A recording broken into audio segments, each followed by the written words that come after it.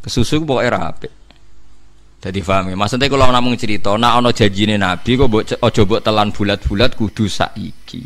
Kudu saiki gawane manusa khuliqal insanu min ajal. Manusa senengane kesusu. Buktine kebukae Konstantinopel lu sakwise 600 tahun. Saiki wong ngermuni khilafah Islamiyah kudu menang saiki, kudu diterapno saiki. Pokoknya sekudune saiki saiki. Ora repot. Ayo pentingnya ngaji, ben kowe roh data. Ya roh data. Pun paham gitu terus ya Allah ya janji janji ini Allah bener. Kue bakal nguasai dunia nguasai dunia wong-wong kafir sebenarnya kesingkir. Ya ojo saiki. Mekah niku zaman Nabi kabundut Medina aksarun nas iku Sebelum melanjutkan ceramah dari Bapak, jangan lupa like, subscribe, dan share sebanyak-banyaknya.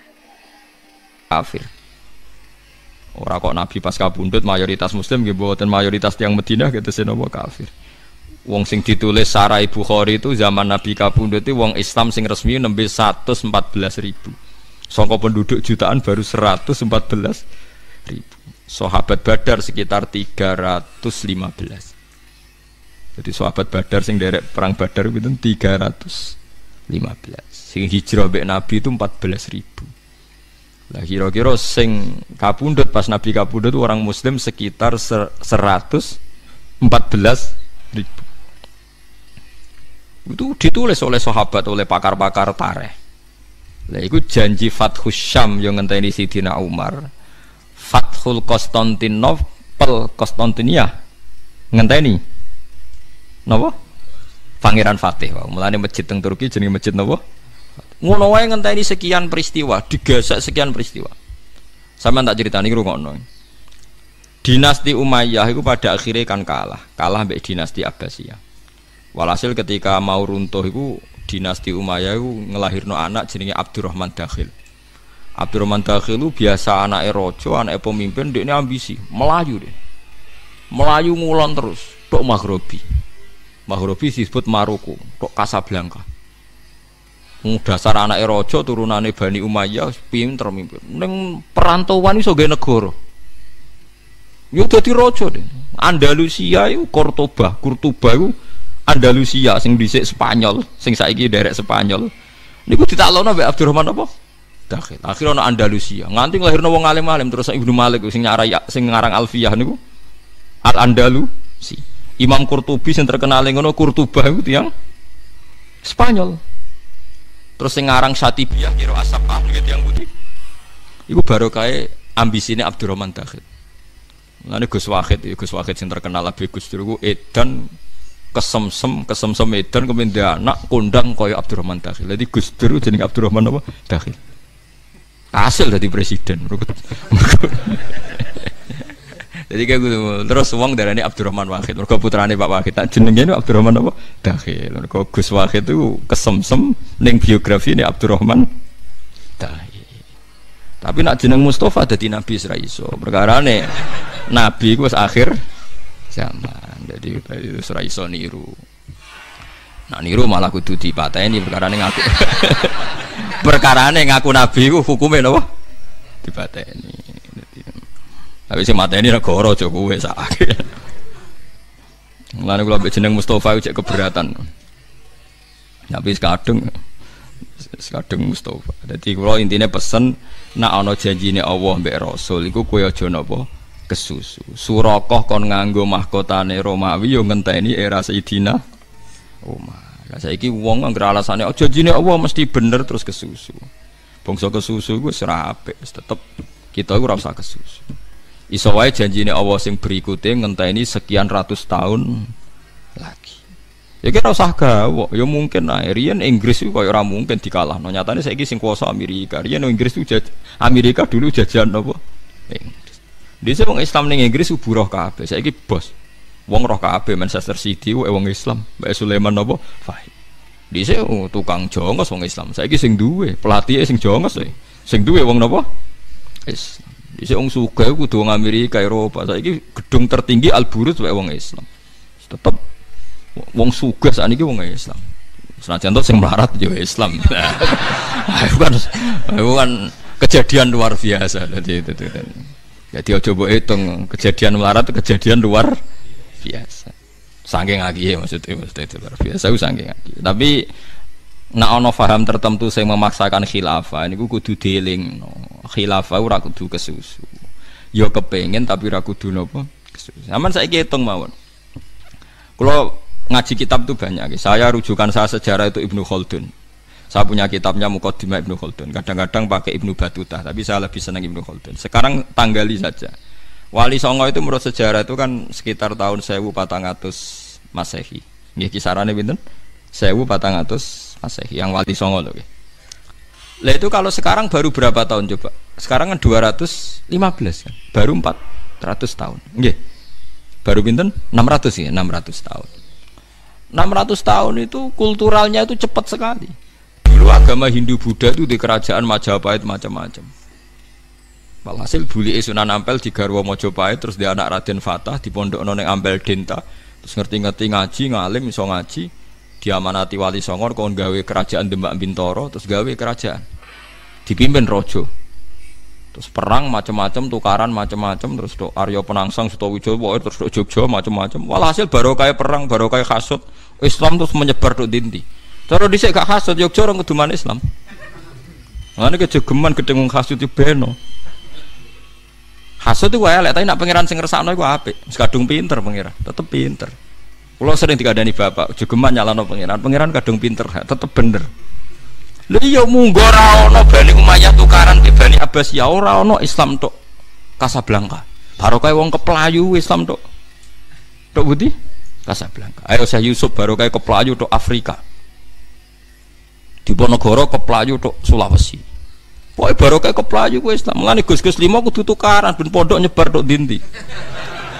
Nak ra tukaran ubak-ubek sak nggon. Mulane setan jari tiang tasawuf niki kula boten bodoni. Setan paling bingung ngadepi wong mukmin sing alim. Perkarane karepe setan nak ben tukaran ben gedeng Islam ora. Bareng tukaran ning Beduan ning Wonokromo nyebar tok Banyuwangi nggih pondok. Tukaran meneh nyebar tok Sulawesi nggih pondok. Dadi setan di luar dugaan lho kok malah Dadi setan gobloke ra karuan asline ku.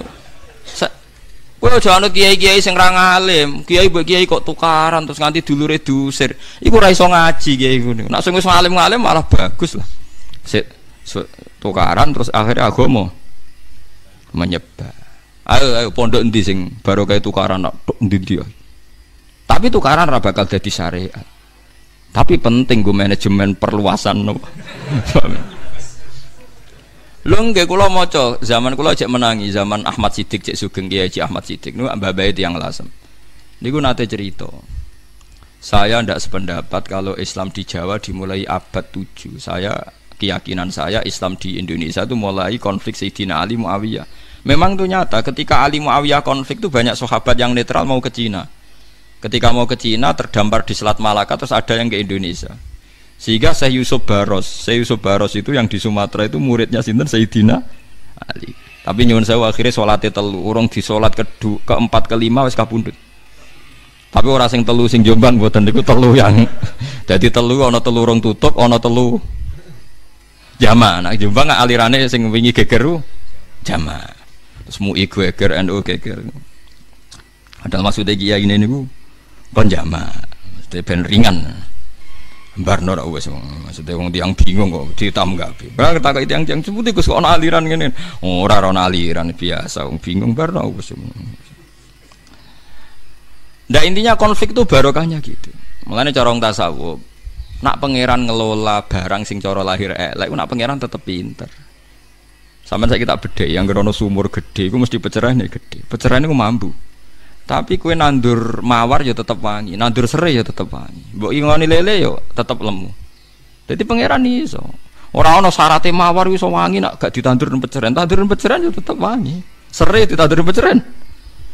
Engko digawe kolak, digawe kono ya tetap wangi. Tapi nak manusia ora iso barang kotor di manage. Pangeran itu tetap pinter. Artinya hasut itu tukaran terus di manage jadi apik ngrugekno setan tetap pangeran iso buktine peceran yang lahir roh subur letong kotor tapi jadi ternak jadi nopo penyubur ya apa enggak buaya buat pangan Eman kodok itu cici Ini nak pangeran ngakali kue gampang, pitik mangan kodok, ke mangan daging pitik. Terus. Jadi manusia ada soal ini diguyu malaikat sebenarnya. Di manusia akal-akalannya gampang, welut, dakok sapi deng. Mangan sapi, mangan telek, cici. Tapi welut dakok sapi deng welut. Yes, jadi manusia diputer sidik kan Kayak mangan kotoran, nah, bareng keting, patin, mangan kotoran manusia, digoreng, bar. Ya, artinya pangeran, pangeran tetap pinter. Barang kotor di menet selesai. Lah kayak hasud, hasud itu kan harus menjamah neng dindi, tapi di menet pangeran jadi penyebaran Islam. Lalu jogeman protes pangeran jogeman, tapi hukum fikih tetap jalan. Nah takoki, hasud itu biye dosa. Pencerahan piye? Najis. Ngomong ngono tok, aja muni pencerahan ora ono gunane goblok kowe. Dadi aja muni najis, tapi aja muni ana gunane. Beda ya. Mulane takoki hasud iku piye dosa. Tapi kok jomoni gak ana gunane. Baru kayak hasud itu uang rusir-rusiran. Terus ana penyebaran apa? Islam. Mane Abdurrahman dakhil ke Pelayu ning gone Casablanca ya baru kayak terdesak. Tapi akhirnya jadi kerajaan yang nopo Casablanca, jadi Maghribi. Maroko riyen nopo Maghribi. Mergo barate Mekah, barake Syam disebut nopo Maghrib. Mulane gara ana Syekh kok kulon cara wong Yogya jenenge Syekh napa? Maghribi. Mulane ning daerah Parangtirtis ana makome Syekh Maghribi ning Tuban kono mau. Jare Gus Maghribi kok loro. Lah Maghribi sak negara pira-pira disebut loro. Mergo angger daerah Maroko disebut Maghribi. Masa Gus masa aku jenenge wong. Ya ora iku tukang juru kuncine ora roh jeneng kok kulon disebut napa? Maghribi. Pira-pira mau loro. Ora rong puluh dadi Paham ya? Jadi ini pentingnya ngaji. Terus janji ini Allah itu mesti bener. Masalahnya kue kadang kesusu. Wong kanjing Nabi sing asodikul masduk mau ngendikan Konstantinopel dibuka. Niku sampean kalau ke Turki di masjidnya itu di mimbarnya itu ada hadis soheh di riwayat Bukhari ditulis lataf tahun nal Konstantinia.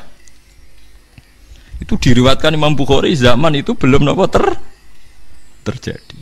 Ratusan tahun, ratusan tahun. Sampai awal-awal zaman bener-bener nyata Turki dibuka oleh pangeran sinten? Fatih. Zaman pemerintahan nopo? Ottoman. Ini uang senengane nopo? Kesusu. Karena bener kesusu guys suatu saat tetap enggak uang Indonesia 600 tahun mun saiki kaya negara Islam. Uang tatonan yo mulutan. Uang rasolat yo kaji. Oh pokoknya Islam menangan dengan Indonesia saking menangane uang keliru wae Islam. Uang keliru wae. Islam. Bingung pokoknya ngadepi Islam. Kalau sering ketemu lama saat dunia paling bingung ngadepi Islam Indonesia. Diarani fasek ya mulutan tatonan. Ya kaji tapi rasolat gaya-gaya dia serai bisa diduga lah engkau sing sholat terus itikaf terus kadang dia penyakit medit.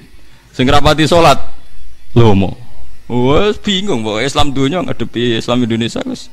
Angel pokoknya. Sangking pintere hukum, bu sangking pintere ngelah, bu bias pokoknya hukum. Jadi kalau nah Islam yang Arab kan model yang harus sunah Rasul, wongnya jigote ini carane cingkrang ini polanya sama Indonesia buatan. Carane sendak ke bitu-bitu, carane sholat gaya nih bitu-bitu, carane wiridan. Entah lilan om bitu daerah gitu bitu. Wes pokoknya wes kondang tenan, Islam Indonesia wes kondang tenan wes sampai pengamat tuh bingung. Kulo kan sering ketemu ulama-ulama Mekah, lu bingung tenan jadi ngadepi Islam Indonesia itu bingung tenan. Kulo nanti gojlek ulama Syiah. Nah gojlek ngeten pokoke intine, Pak Bahak. Syiah itu kan menurut Anda salah. Ya sudah, saya nanti masuk neraka karena saya sabu sahabat, misai sahabat. Tapi Anda umat Anda masuk neraka mergo buka aurat. Artinya gini ya, Dewi Persik atau siapa saja artis-artis itu jube itu ahli sunnah. Tapi nak nutupi aurat gak gelem. Akidahnya bener tapi auratnya gak bener. Nak Mekah walian. Mbok ra salat lah yang nutupi aurat. Jadi bingung. Jadi maksudnya lah Indonesia tenang ya, wong ayu-ayu katokan cekak nggo rukoh traweh. Mulai coplok meneh katokan cekak mulai. Damai. Nak wong Arab ra salat lah berukut. Lah nek ngerti. Ya ben kowe sadar Islam Indonesia itu paling bingung ngadepi aurat. Wes kiai sapa bingung. Lah anak roket jadi setuju tadi jadi dia agak nganggap itu problem ya. Jadi itu kan. Lu iya akidah itu sunni. Artis-artis yang belajar itu sunni apa enggak? Sunni. Sebut sahabat menurut dia anhu. Alhamdulillah kita telah selesai menyaksikan atau menyimak ceramah dari Gus Baha. Semoga apa yang beliau sampaikan menjadi tambahan ilmu, ilmu yang barakah, ilmu yang munafik buat diri kita sendiri dan orang lain. Amin amin ya rabbal alamin. Cukup sekian saja dari kami manakala ada kesalahan dan kekurangan. Wallahul muwaffiq ila aqwamit. Wassalamualaikum warahmatullahi wabarakatuh.